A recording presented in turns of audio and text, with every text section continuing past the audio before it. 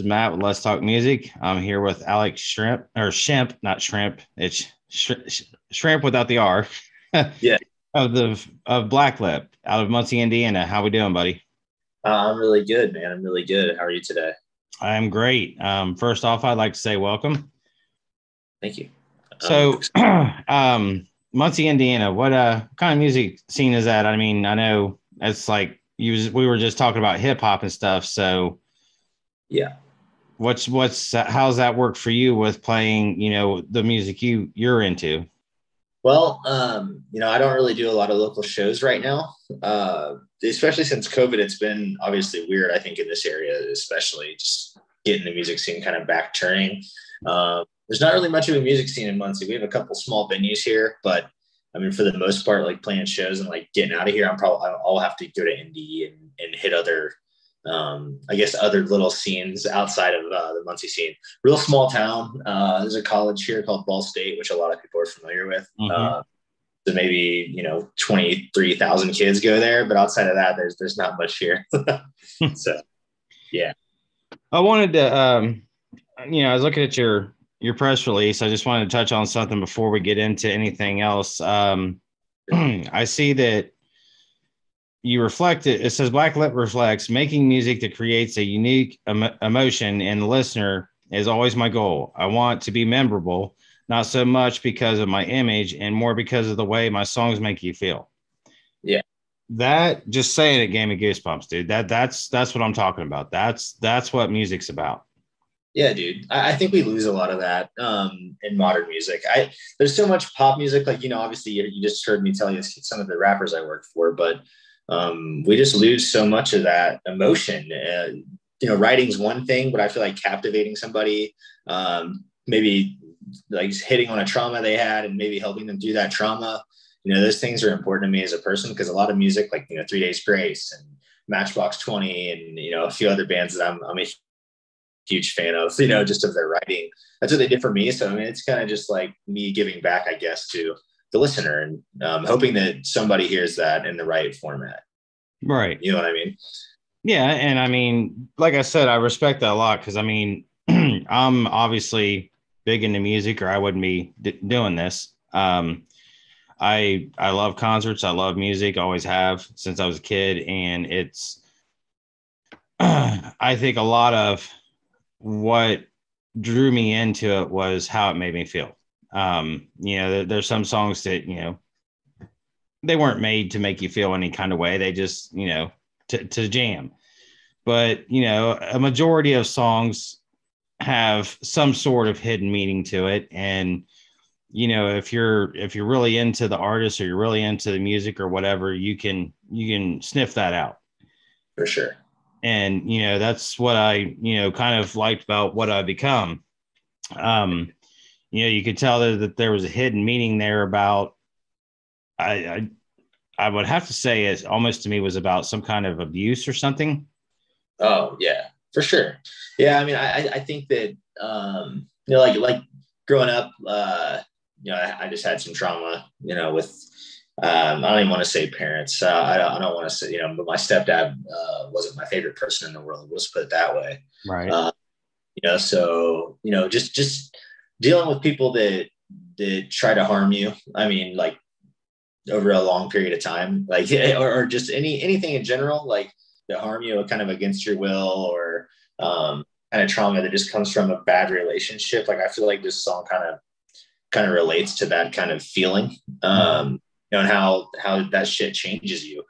You know, people right. can can manipulate you uh, out of your control for so long that I feel like it can actually like make you a different person than you were before. Yeah. Uh, almost, and that's kind of what the song's about. It's kind of just about that trauma changing you, if that makes sense. So yeah, yeah, it does. Makes a lot of sense. Um, I've had traumas myself, you know, relationships, uh, you know, younger when I was younger and stuff. So I mean, I can relate. Um, so you were before with a band called In the AM. Yeah. Yeah. And then you left them because it wasn't really what you were looking for as far as music wise, or I mean, you guys just not get along. Well, I was so I started that group in like 2017. I started recruiting for everybody to kind of come on board, and then uh, in 2018 we started pushing pretty hard, making music videos. Um, you know, pushing like the scene in general and just you know, what we can do. We did like a six month stint of shows, and it went pretty well. It was well received, and we were really pretty badass. You know, like as a as a as a group. But what ended up happening in the long term, it's like I'm always the guy that kind of handles everything. I'm the writer. I play the I play guitar on the records. I play bass. I play the you know the lead guitar. I uh, record the background vocals, the lead vocals, and I write all that stuff in between. And now I even you know I play drums four hours a day. So you know so now I even play the drums on the records. And um, I don't know. It's one of those things where when you bring people in as hire ons, because that's technically what it was. It's like it's not that I care about giving credit away for you know like it's not that big of a deal, but at the same time, it's like people just kind of want to tag along and be a part of uh-huh. what. Um, and I need people that are going to be there to push me, not just follow in my in my footsteps and just hope that I make it. You know, like like just because I make it doesn't mean you should. And that's that's kind of uh, my perspective. It's like I'm not going to put in a shit ton of money and a shit ton of my time for people who aren't going to do the same for me. You know, right. So yeah. Uh, you're solo now. Yeah, completely as a whole. so that's why why you just took up drums recently, or? Well, drums have always been a thing for me. My, my mom wouldn't let me play drums when I was a kid because they were too loud and uh, bass of my own. And I mean, the, the thing is, when I listen to music, like I, am listening to the beat. I mean, that's as a writer, like the, the rudiments are important to me. Like just being able to like feel where kick drums should be placed or like snare drum and how to fill out in, in between moments of all that stuff. Mm-hmm. Like I just always listen to the beat. So for me, drums have just always been in my head and they just come really naturally to me. Like I'm, I'm pretty damn good. I mean, in two years, like I'm pretty legit at this point, but I guess four hours of practice a day has a, has a lot to do with it. right.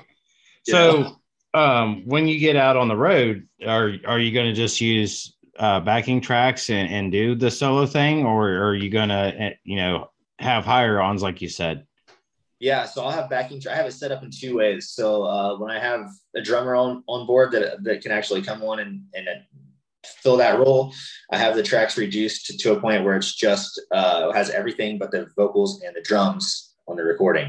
Mm-hmm. So that way I can play guitar over top of what's already there. I can sing sing over top of the actual recording like it was from the album, and the drums are removed so I can bring a drummer in. But other times um, I have everything else. I have it set up two ways, like I said. So um, I can. I also have it set up to where uh, everything but the vocals are there, so uh, I can play guitar over top of that, set up everything I need on stage, and just sing right over top of everything that that I recorded initially. Okay. Yeah. So kind of situations, you know. is that uh? I mean, what what kind of complications can you run into with stuff like that versus like having a backing band?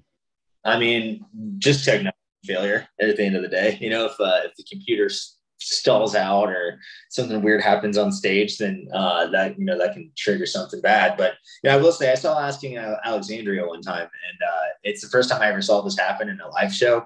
Uh, but I was watching the band, and exactly that. Like the they had a bunch of backing tracks for their set, mm-hmm. and the you know the guy that's running the sound you must have clicked play, and it like timed out or something. But the song just stopped like about a third of the way in, Oh, right. Yeah, instead of like like just continuing through it and like playing through it, they just stopped as a whole and like we're just really confused. But they just had them replay it real quick and they corrected themselves, you know. Um, but I never saw that happen in a live show, and I know how awkward it can be for the artist and the crowd when that happens because you're like, shit, like what just happened, you know. Um, so every bit of me uh, has a, a, goal to never let that happen and make sure my technology is on point at all times. so yeah. So I mean that I mean obviously you're very talented to be able to uh, work with the technology like that and and also the instruments and sing. I mean, does that take any like kind of toll on you on, on certain days or? What do you mean exactly? Like just well, like where you just get frustrated, like, okay, you know, this isn't sounding right. I gotta go back and do this. Uh, you know, just I mean, to to me, I, I feel like as a band, you know, I wouldn't say that you have to focus on just yourself, but yeah. your main like if you're the singer your main focus is on your vocals you know obviously everything else has got to be in sync and everything but you know them guys got to worry about that too now here you are doing it all. And i mean when you're laying these tracks down it's i just feel like you know it would kind of be frustrating when you have moments where like a beat's missed or something you have to go back and redo it or whatever. I see i don't know how all that works so i mean sure. but do you ever get really do you ever get frustrated with it yeah it's extremely frustrating. I, the part that's the part that's most frustrating is not um, necessarily the writing or the playing of the instruments. Like i've just been doing that for so long i'm just really proficient. But the hard part and this is so crazy because no one no one i don't think really people get this but finding an engineer that's at my level is impossible in indiana. Uh-huh then like I just have a real I have a good ear. It's taking me a long ass time to write music the way I do and get it to sound the way it does. And like when you hear the rest of the songs, they're all of equal quality or better compared right. to some. And the hard part is finding a guy that's that's fine tuned. You know, I'll get a mix back sometimes from an engineer, and like it's like the first cut, and I'm just like, all right, this is gonna be cool. I'm, ex- I'm excited to hear it. And then I hear it, and I'm like, what the fuck are you listening to? Like, how are you missing all of these details? Right. Like it's like this is what you do for a living, and a lot of times it bothers me because I'm like, these people charge 450 550 bucks to do a mix. And then you listen to their mix and you're like a fucking five year old could have mixed this. Like you know like it, it, literally what what pisses me off about it the most is that that in itself that i have to instead of instead of getting someone else to work and like being able to trust them to make a mix that's amazing it's like i always have to tweak the mix so much and for so long that eventually that money becomes almost worthless in my opinion like i feel like i shouldn't even be paying them because it's all coming out of my head, like in, in terms of sound like. And that really bothers me. You know, outside of that, because it, it, not only does it take an, a ridiculous amount of time to get it completed and and kind of get them to understand the kind of perfection that I, I do expect, like it just it's just one of those things I, I, I just after a while it gets really annoying to put that time in. You know what I mean? Mm-hmm. Like doing it over and over. Um, yeah. So if I if I can just figure out how to correct that uh, on the next EP, I think the timeline will be a lot hell of a lot quicker. I just need to really find an engineer that's that's on point and probably already working with like some really really massive bands just to avoid that you know I guess the missing the dots and, and having to do that for them if that makes right. sense. So are yeah. you? I mean, did you actually find somebody to get this out, or did you kind of have to do a lot of it yourself? Um, are you talking about the mixes? Yes. Oh yeah, I've worked with a few different engineers. Uh, one guy, you know, I, worked with a, a, mastering engineer named Tom Frampton out of the UK. That dude's amazing. Um, he owns a, a, mastering company called Mastering the Mix. Mm-hmm. Um, another another plugin company where he actually builds mastering plugins. But he did what's called a stem master for me, and we actually like kind of set up a deal where he mastered the tracks for free, like the first three tracks on the EP. Um, and he's he's just going to use the tracks for mastering examples on his like platform for people to download and buy and stuff. Um, mm-hmm. Yeah, so we went through that process, and uh, you know, it, it, it's still it's still no matter what, it, it takes a long time to get the, the mix right. But that dude is on point. Um, yeah, mixing engineers are just interesting because their job is is hard. I feel like it. I feel like you got to give them credit where it's due too. It's like giving somebody your own piece of work and something that you've put a ton of time into and just trusting them to make it sound great is a big commitment, you know. Mm-hmm. And I know that these guys, when sometimes when they get their their mixing list back from the first response, it's you know a book, and they just have to correct everything they did from the from the get go. So yeah, that's pretty much the whole the whole thing. I haven't really found the mixing engineer I'm looking for yet, to be honest with you, if that's what you're asking. Okay, yeah, because I, I I actually uh, read in the press release that it took you like two whole years and four different mixing and mastering, you know, engineers on the song and constantly what tweaking and mixing, getting six different masters before selecting the final one. I mean, that's that's yeah. that's a lot. Yeah. Well, actually, I actually sent this this track to uh the guy. His name is Chris, but he's the guy who mastered all of the brand new Machine Gun Kelly stuff. Mm-hmm. So every um, record he's put out, this guy's pretty much mastered all of that music. So I had sent it to him, and when he mixed, when he mastered it, he's so good that the low end became a problem for me because he he masters so well on the low end, which is what they're really designed to do, is carve out things that would normally not be that like loud in the mix, but make them sound good. Mhm. What he brought out the low end so much that it kind of erased the vocal. It took away the vocal in the chorus. And I'm like, well, this sounds like shit because now I can't even hear what the hell I'm saying. So I threw that master away. I didn't even use it because I was just frustrated with how much I paid for it and the fact that it just didn't sound as good as the master I already had. So then I, I ended up going with the, uh, another master that I had revised from Tom, the guy in the UK. Again, that, best in the world. And to anyone who ever watches this, if you need good mastering engineer, a good mastering engineer, go to Tom Frampton. It's a hundred bucks and he's solid. yeah. Cool. So, um, what's what's next, man? I mean, you you just got this one out. Do you have a new one that you're working on, or something else that you've already done that you're going to be releasing in the near future? Yeah. Um, I have uh, four more tracks to put out as singles right now. So they're all they're all done. All of them are finished. Um, the next one gets released July, July 29th. Um, and I have a really good friend of mine named Riso Bankroll. He's a rap feature on it. Mhm. Uh, so, but he he's awesome. He's he's accumulated about 215,000 followers on TikTok. He's got like 30k followers on Instagram, and he's just really been pushing so much over the years. Um, and while I've changed names, he's kind of remained the same, and his growth is there's a lot to speak for that, you know. Um, but he's just a star of a kid. I think that when people hear the the track, they'll there's again a lot of relation that can happen there Mhm. um, catchy and it's just got some modern production and i think people will like it.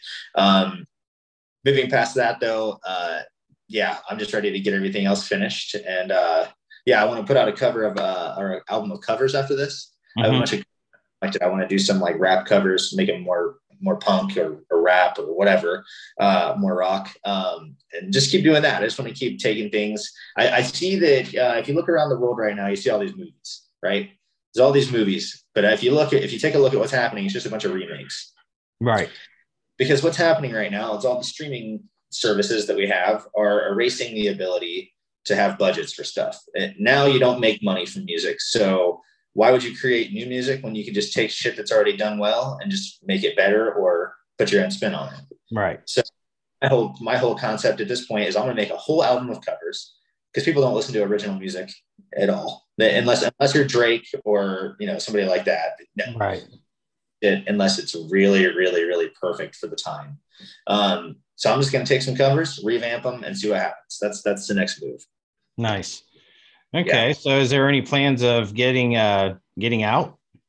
I mean, you know, hitting the road a little bit and Oh yeah, absolutely. Um, I, I definitely want to play some shows. Um, I'm kind of waiting to put out some more songs just to like I can get it out there and really like show people like the new stuff because I'm just more proud of that. Um, but yeah, I, th- I think initially like once everything's kind of once I get stuck in the pain, which is the next track out, I think I'm just going to start booking shows from there. Really, I'd like to play at least two shows a week, a show a week.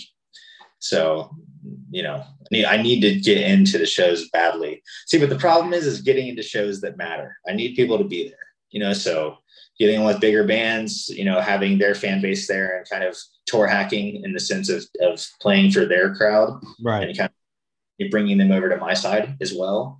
Um, you know, you gotta, I gotta be strategic if I'm going to do this at all. So that's kind of the thought process is let's do some, some, let's make some good moves and see what we can make happen, you know? I agree with that. I mean, wholeheartedly. I, I, uh, like we was discussing that, you know, my platform isn't that big. Um, I'm still working on my website. I'm, you know, still working on a lot of things. Um, you know, Yeah. I, I work a normal full-time job, you know, I've got a family with three girls.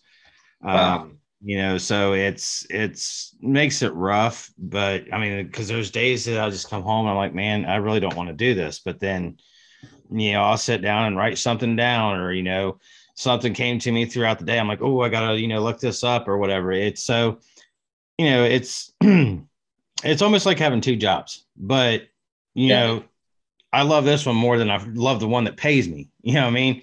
So, Yeah. but like you were saying, you know, I mean, I've watched other people do interviews and, you know, I've subscribed to their channel and liked, you know, and now they're starting to do the same to me. You know, sure. and, and in the YouTube world, I guess they call that piggybacking, Yeah. which, you know, hey, whatever works. I mean, if I can get them more views, if they can get me more views, great. You know, um, and like we were saying, er- you know, everybody's got to start somewhere. So, Yeah. obviously you've already been in the music business for a little while, Mhm. you know, is where, excuse me, my, um, you know, I did, I did a few interviews and then I just kind of, I fell off of it for a while. Uh, so my YouTube, I, I like had, I think when I started doing it again, I had like 12 subscribers. Oh wow. Yeah. So then I started doing it again. And I mean, I've, you know, done, I think you'll be like my 60th video since I started doing it again. And this Yeah. is over a span of the last few months. Yeah. And I, and I love it, man, because I mean, I meet people from all over. Like I did a band uh, named Denver from India. Wow. You know, I was actually talking, it was like noon here and 8:30 in the evening there. Wow. And I mean, it's opened me up to all kinds of different genres. It's opened me up to all kinds of different, you know, cultures and people uh, from all over. I mean, it's been great. And and the uh, it's nice to meet people that are like-minded and you know, you guys possess the talent that I love. You guys possess the talent that I love talking about Yeah, absolutely. so that's that's what's so great about it for me. I mean, you know, I I as a kid I tried to play guitar, I tried to play drums, you know, and I think I never really just had the patience for it. You know, it just I I was always too involved in, you know, sports, girls, bikes, you know, dirt bikes, stuff like that to really sit down and say, "Hey, this is what I want to do." But I've always like I said just had this love for music and I think covers are awesome, man. I mean, I have a publicist that's been sending me a lot of uh, covers. This band called OHP. They're kind of like that guy, uh, Leo. I can't pronounce his last name, but I'm sure you've seen him on YouTube. Uh, Yeah. Leapfrog Studios. Yeah, they're kind of like him. Uh, they Okay. actually just did Wannabe from uh, the Spice Girls, Wow. Okay. Yeah. yeah. and it was pretty cool. Hell yeah. So, I mean, I think like what you're saying, you know, you can take it and make it your own. You can put a spin on it however you want, you know, and you know, I mean, that's obviously a hip hop song, and you throw guitars and drums in there with you know, double kick and everything, and it was pretty rocking. Hell yeah. That's awesome. See, you know what's crazy? It's like you talk about the patience factor. Like I kind of view I kind of view music like this. Like all all the time I've put in, I could be a doctor.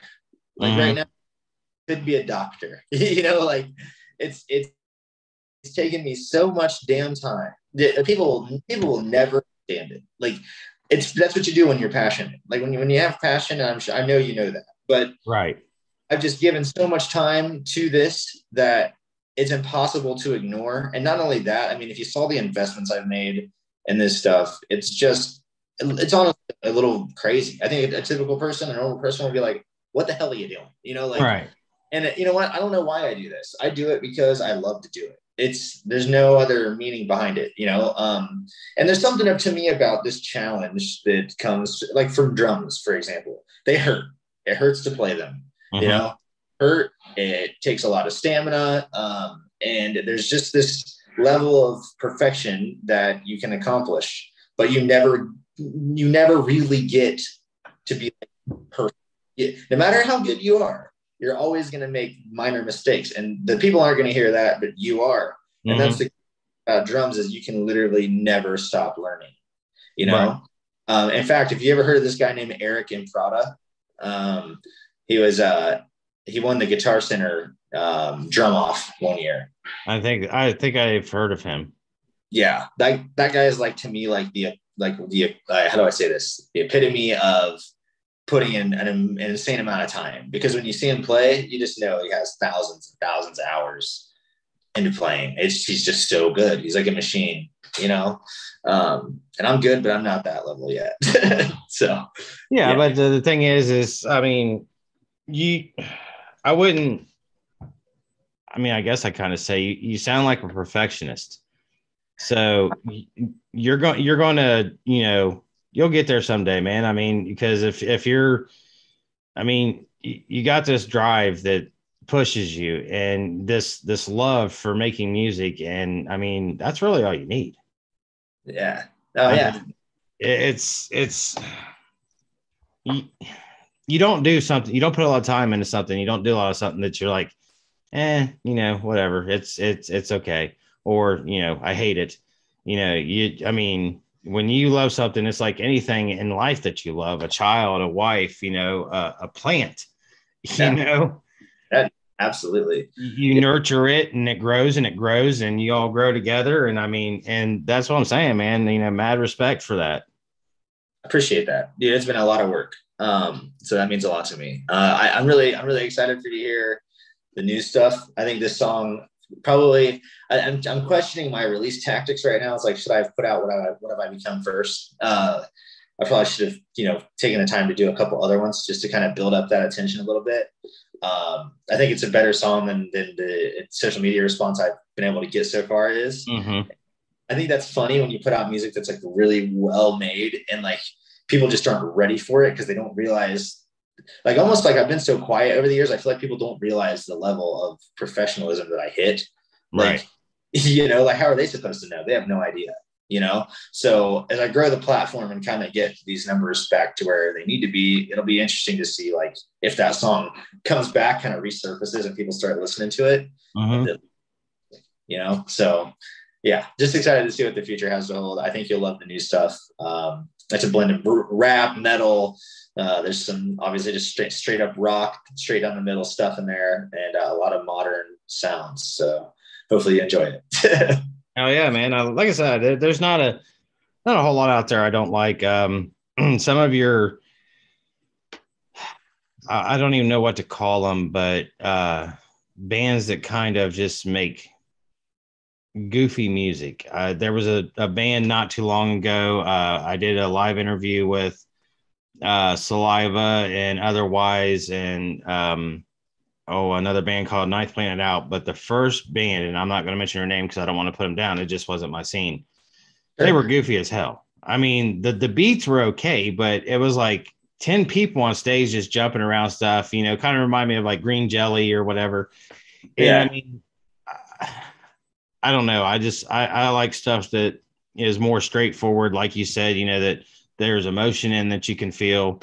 Um, always been a huge fan of like Metallica, Megadeth, Slayer, you know, bands like that. Um, my son turned me on to the new shit. So, I mean, like, you know, Avenged Sevenfold, Devil Wears Prada. You know, actually, not too long ago, did a, a interview with Keith Wallen from Breaking Benjamin. Oh shit! Yeah, so I mean, it's it it he was really cool. I mean, we were he's doing getting ready to do a solo thing after Breaking Benjamin's done touring. Um, he's going out with the band Red, and oh, yeah. so, you know we talked a little bit about the current tour and and you know Breaking Benjamin, but we focused more on you know what he's getting ready to do. And I mean, I listened to some of his tracks, guys, phenomenal. You know, yeah. so I mean, it is, man. It's just I, I I like music that has a meaning, and you know that's that's what you're focused on, and you know, I think eventually when people catch on to that, you'll you'll definitely have a, way bigger fan base. Oh, thanks, man. Yeah, I hope. I, I think this music definitely has the potential to go all the way. See, that's that's the crazy thing. It's like I started making music with a with that in mind. It's like you know you got to make stuff that people can that will last, that people can continue to listen to. If you mm-hmm. don't look, you can make it just because you love it, and that's fine. But you also have to make some. If you're gonna try to do something with it, you might as well really try. You mm-hmm. know, might as well make shit that like might still be playing in ten years. You know that right. that's that's that's why the perfectionist and the that that just that part of me, like I want it to be perfect. It has to compete with top forty records. If it doesn't, right. then I'm not putting it out. I, I'm not gonna do it anymore. You know, like so that's my whole perspective on it. It's I don't know, a lot of work, a lot. I man, I mean that that's that's uh, good to have you know high expectations for yourself like that. Mm-hmm. I mean, that allows you to you know allows you a little room for success and failure. It allows you some room for you know um, growth and you know as, as long as I, I, feel like as long as you believe in yourself con, you know constantly man you'll you'll get there just yeah. just like me i mean i feel like one of these days you know i might be able to do a, an interview with somebody like you know Avenged Sevenfold or something you know just somebody like i said it's i i love the independent artists i love the the music i've been doing you know mm-hmm. and it's like you know if i could I always think, man, if I could get this band, I could get this band. You know, my my views would go up, this would go up, but I don't really do it for that. Like I Yeah. said, I do it just because I, I like it and I like talking to people about music and you know meeting people. So man, I'm gonna For go sure. ahead and uh, let you go. We uh, we've been at it for a minute, but I appreciate your time and uh, definitely will look forward to the new music. Um, if you go on Facebook, my page is Let's Talk Music. Okay. Um, you know, there's I got you know stuff on there that other interviews that I've done. I've also you know just kind of post random things. You know, um, you know that also allows us to connect so that you know you can send me new stuff or whatever. Um, you know, and I will get this edited and up on YouTube, sent over to Allison, and you know, best of luck to you, buddy. Hell yeah, man. Thanks for taking the time to do it. Um, when I send it, when I get some new stuff done and kind of get it out, I'll just shoot you a message and let me know what you think about it. I appreciate you taking the time to interview me though. Hey, man, it's my pleasure. Pleasure All for me. All right. Have a good evening. You too, man. Thank you.